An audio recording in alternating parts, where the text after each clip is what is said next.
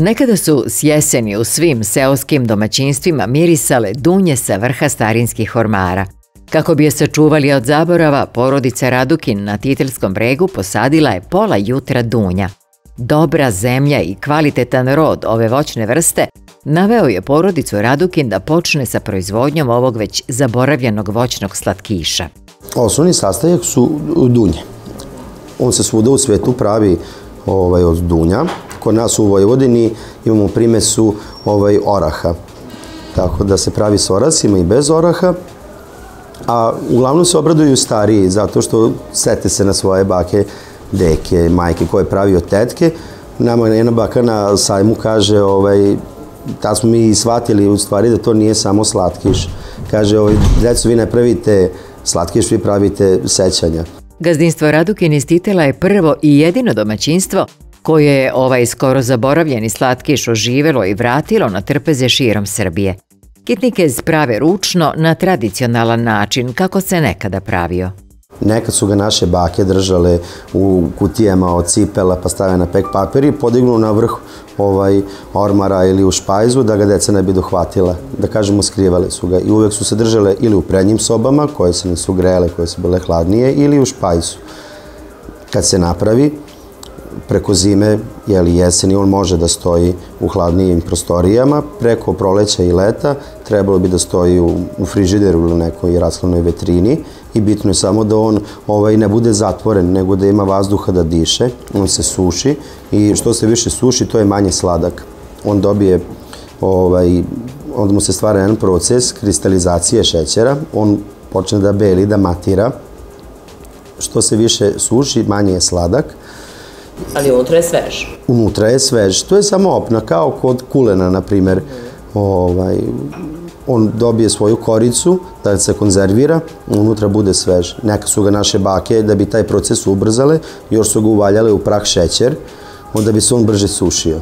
Kod nas su zastupljene najviše ove vodine dve sorte, to su Vranjska i Leskovačka, koje imaju odlične arome i odlična svojstva ali im postoje neke nove ove sorte bugarske koje su šampionka i ovaj hemus koje nisu baš hemus je na primjer otpornija na erviniju nego ovaj šampionka, ali to su neke nove sorte koje su isto bogate aromama, e, lepi veliki plodovi. Mi imamo naš zasad oko pola jutra, dunja na Titelskom bregu. Titel daje, ima dobru zemlju za, za dunju? Ima dobru zemlju i uglavnom, pošto su na bregu, ovaj, često Obično kad se pravi rakija, oni čiste, svi sredinu čistimo i mi naravno, ali sredina se čisti kad ima plesni, kad se osjeća na buđ. Kad su magli dunje dosta i na, na nekim nižim nadmorskim visinama imaju taj problem. Mi na Titelskom bregu, hvala Bogu, tih problema nemamo. Recept po kojem ga prave datira iz 1927. godine – a u amanet im ga je ostavila Gordana Desa Radukin. I danas ga prave na isti tradicionalan način po istom receptu. Kako kaže Dragan, izlagali su ga i učestvovali na mnogim manifestacijama i sajmovima, a gazdinstvo je nosilac brenda autentičnih proizvoda iz Vojvodine. Otac i majka se preko 30 godina bave proizvodnjom i preradom voća i povrća. Kitnikez smo pravili dug godina za potrebe pokućanstva pre nekih deseta godina smo rešili da to malo popularizujemo i da počnemo zbiljne da se bavimo time. A ističemo se što je naš kitnik iz boje kakve bi trebao da bude ovaj, crvenkaste. Za to je zaslužan ovaj, pekten i tanin koje su dunje bogate i mala količina šećera. To je prirodni proces koji se zove karamelizacija, gde se termičkom obradom menja struktura proteina i ugljenih hidrata, oni tamne. Karamelizaciju imamo i u pecevima kad se peče ovaj štrudla, kad se peku kifle, kao i pečenje, normalno meso, sve menja boju.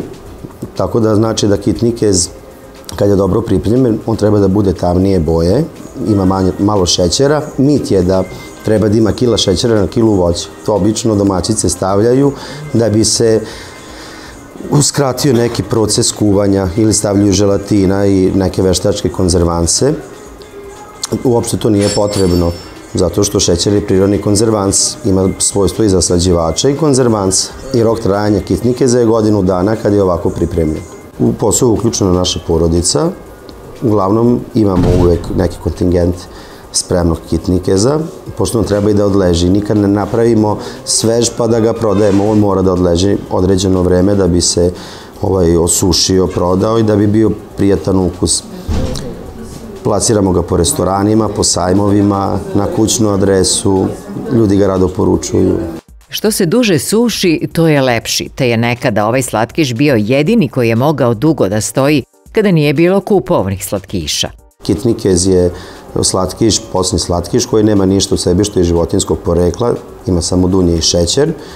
Dosta ga uzimaju i vegani. On se vodi kao zdrav slatkiš zbog male količine šećera u njemu, a dunja u sebi ima dosta elemenata koje su zdravi za telo i neke nesvarljive celuloze koje se termičkom obradom ne gube, tako da je dobra i za rad sremne flore i za krv.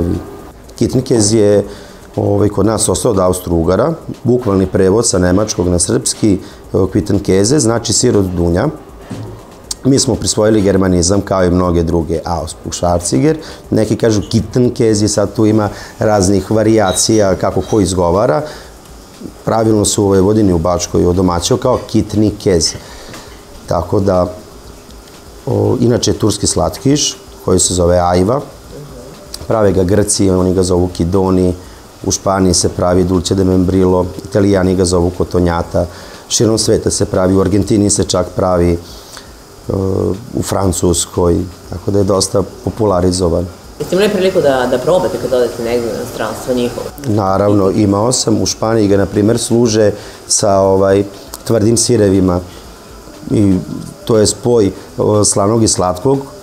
Jako se često koriste na degustacijama pića, zato što svi koji spajaju hrane i piće nekako gledaju da otvore sva čula, da imaju i slano i slatko i kiselkasto od sira, na primjer, ili od pršute, ima ovaj jel, slani deo, a od kitnike za slatko kiselkasti, tako da onda pre degustacije vina ili nekih jačih aperitiva sva čula budu uključena.